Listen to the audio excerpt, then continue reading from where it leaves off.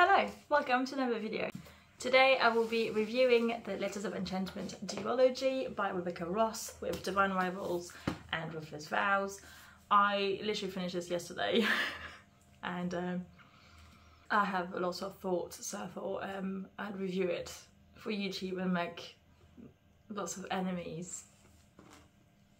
Let's get into this. Disclaimer, if you like this book, please do not watch this.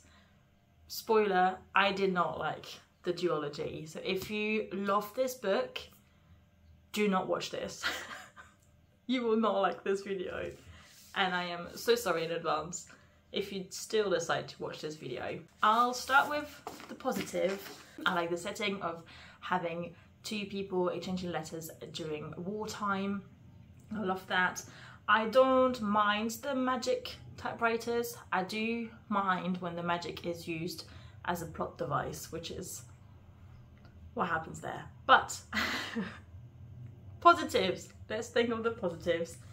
Um, yeah, that's pretty much it. I didn't like the characters, I didn't like the writing style, I didn't like the minimal amount of letters. I generally thought it would be more letters than prose and it was mostly prose. There's like a few letters here and there scattered amongst all the prose and yeah I, I was expecting a lot more from this especially because it's so hyped like people absolutely adore this book and I wanted to be one of those people and um, of course I'm not because I don't like hyped books. Just, I don't know. This felt very, very YA to me. It was middle of the road, funky magic system that just is there but not explored and it's just like you just throwing everything at it trying to explain um, plot holes with magic if you're going to use magic, you have to weave it into the story in a way that makes sense. And with this, it just didn't make sense. I saw Becca from Becca and the Books, I'll link channel, her channel down below, talking about this, thing, saying like the magic was just added onto a story that was already written just to make it fantasy. I think Becca nailed it on the head. Like it's generally what I think also what happened is that Rebecca Ross wrote a historical romance and because she is typically a fantasy author they've asked her to make it fantasy so she weaved magic into it you can tell that she's added the magical element afterwards like an as an afterthought I could be completely wrong. I do not know Rebecca Ross. I have no idea how, what is her thought process when she writes a book, but this is how it felt to me. I did not like the characters like Iris and Roman are, in my opinion, stereotypical YA characters.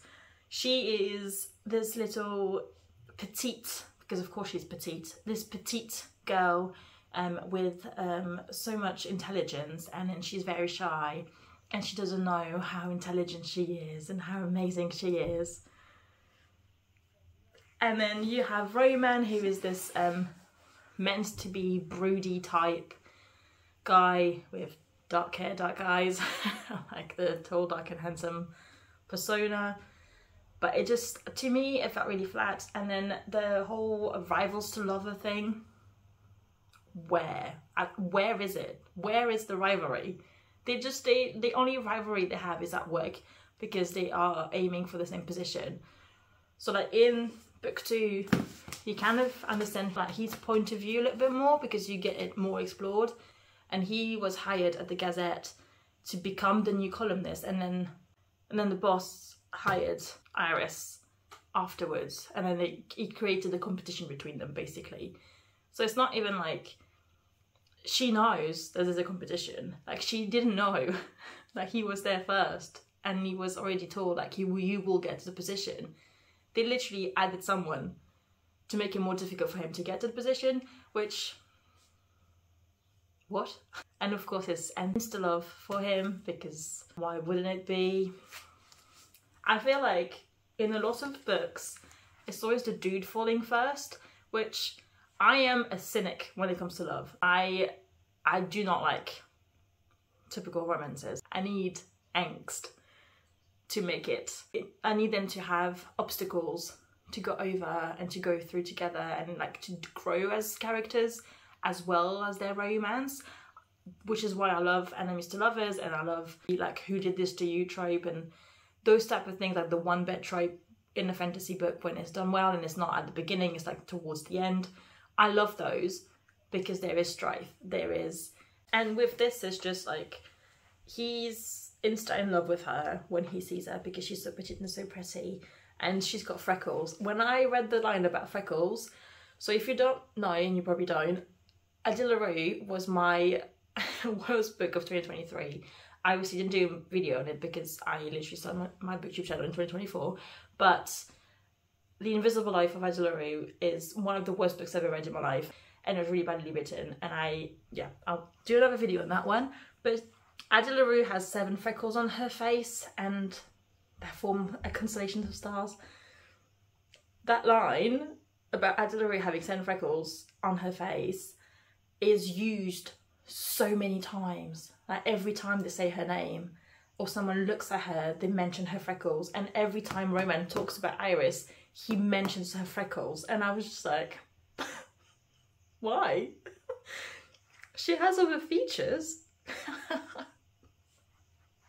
her your attraction to her is not dependent on whether or not she has the freckles. I don't know. I just I hated that, and I, it just reminded me of another book I hated, which doesn't help. But that was like in the second book, he kept talking about her freckles, and I was just like, mate, move on. Please move on. Talk about something else because right now I just want to throw this book at the window. Although I did not read it physically, I listened to the audiobook for both of them. So yeah, so the love story is my main issue with this because he's in love with her from the very beginning because of course he is. And she doesn't really like him. She acknowledges the fact that he's attractive which you know most people do. When you see someone attractive you say oh he's attractive but you don't necessarily have feelings for that person. And she doesn't have feelings for him at all. He's just a co-worker that likes to pester her at work because of course he does. That reminded me of another book i hated.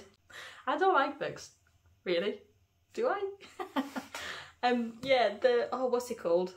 The thing with the office romance and it was so bad and the girl has green eyes and he paints his bedroom in the same shade of her eyes. It's just like, what? But that's something he would do. You know, like the dude in that book. I'll try and find it.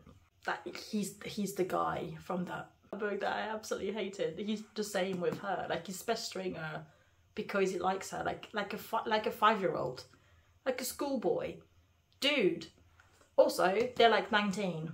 As a thirty three year old woman, they're nineteen years old. they are children, and it's very hard to get invested in their relationship when it's very very childish, in my opinion. Again, I'm way past the demographic for this book. I, I am fully aware of the fact. So the romance in this, he gets the, the job as the columnist and then she goes to the front to become a correspondent.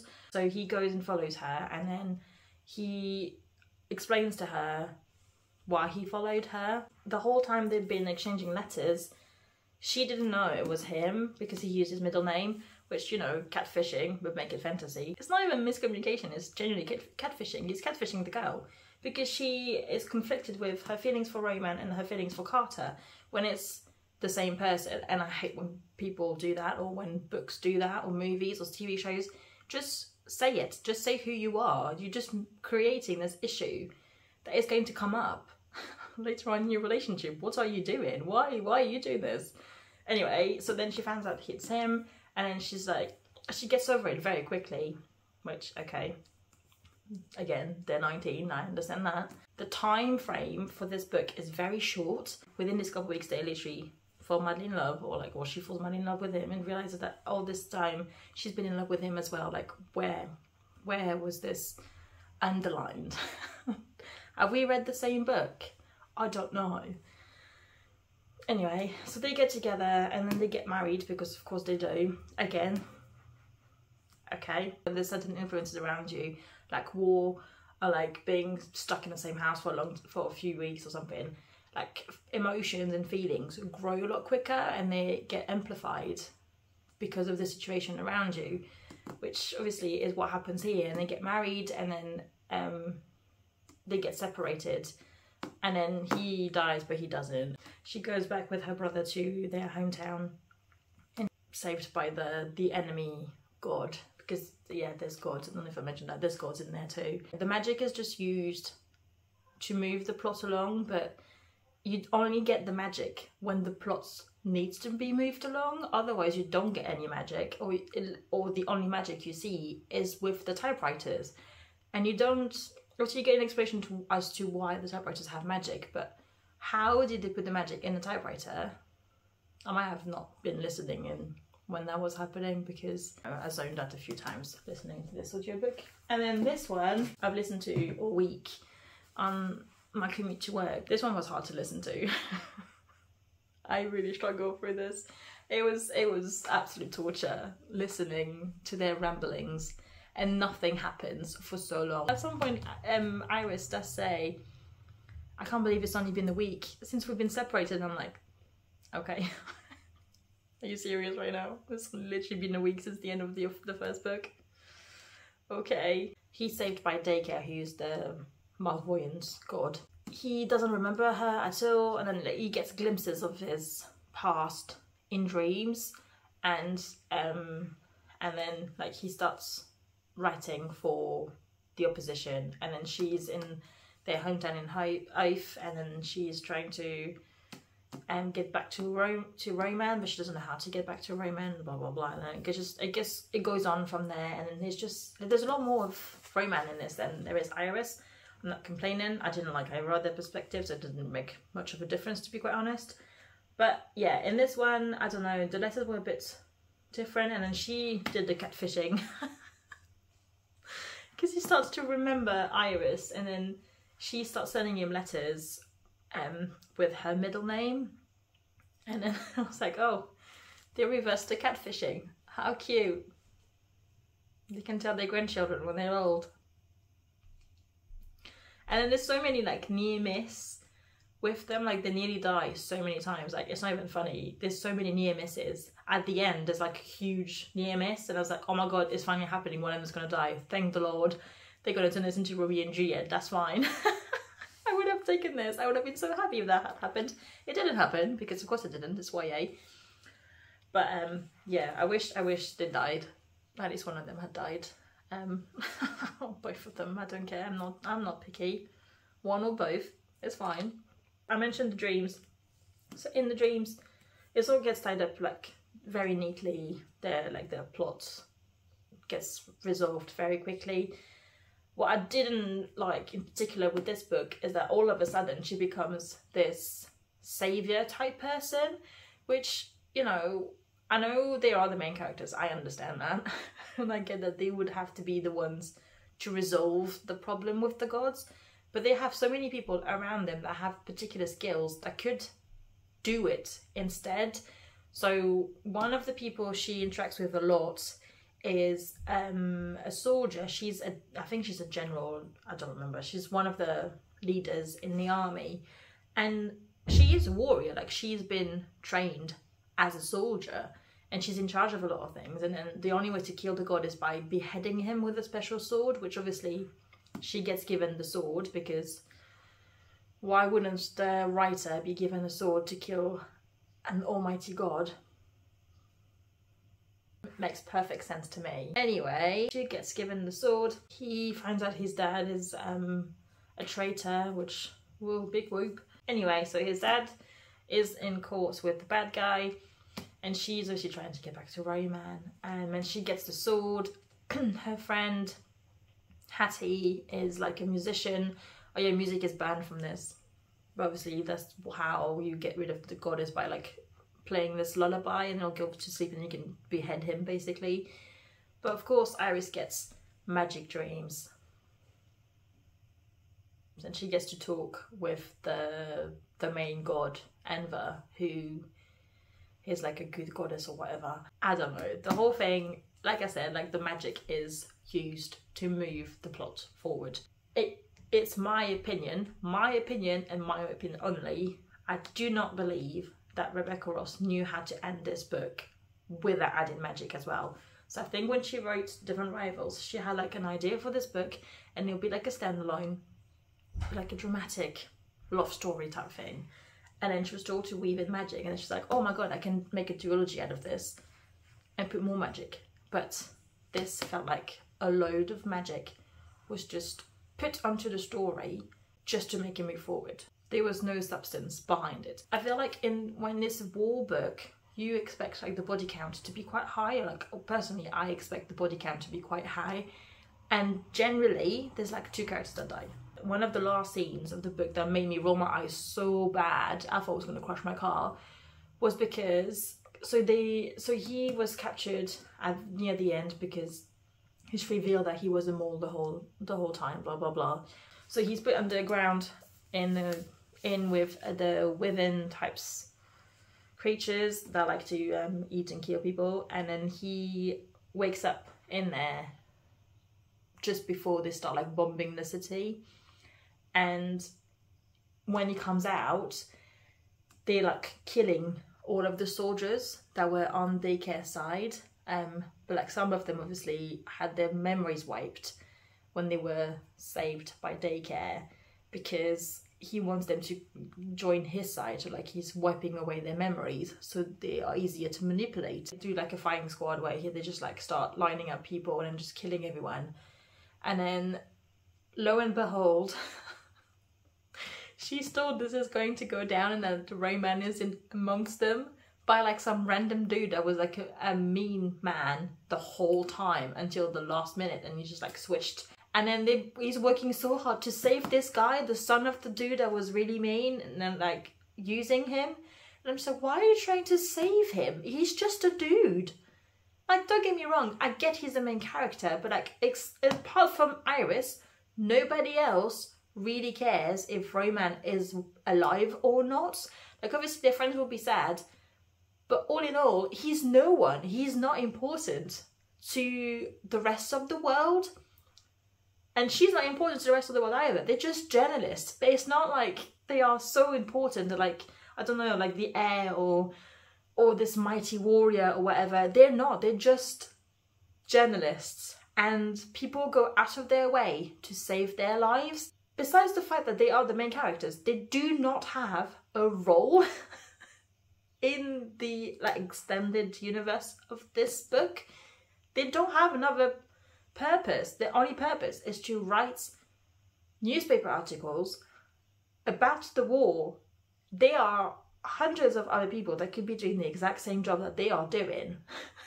so I don't, I did not understand why they have to save Roman so bad because once he's saved, nothing happens to either of them. Like they're just there. They're just two people on the sidelines political scene. They're not involved in the the war laws, entanglements. They, they do not have anything to do with the system in place to that governs their world. It's literally just two journalists and everybody is trying to save them so hard and they keep putting themselves in situations where they have to be rescued by other people and they can't do it by themselves which really annoyed me because they are not warriors. They are not meant to be warriors. It's not like Throne of Glass where Aelin is the queen of Terrasen so she has to survive because she's the queen of an entire kingdom. She needs to be there. She needs to be alive or if it's not her Aedion has to be alive to take over. You know what I mean? In Fourth Wing, Xaden has to be alive because he's the main focus of the children of the rebels. Like, he has to be alive because he's the symbol that everything can be righted in their universe. He's, you know, he's not just a plot device. He's an actual character that needs to survive in order for peace to be instilled in their world. They have none of that. They are just writers. They are just journalists. They do not need to survive the story for the world to be fine. They are nothing. They are just writers. I it's just mm, I don't understand why they had to survive. Why did she have like and then she just ran across the entire town to get to him and then so they're like literally he's on the firing squad so he's like standing standing up with like another i don't know 10 soldiers and there's people with rifles in front of them now ready to execute everybody. And she comes in running in front of him and everybody gets shot.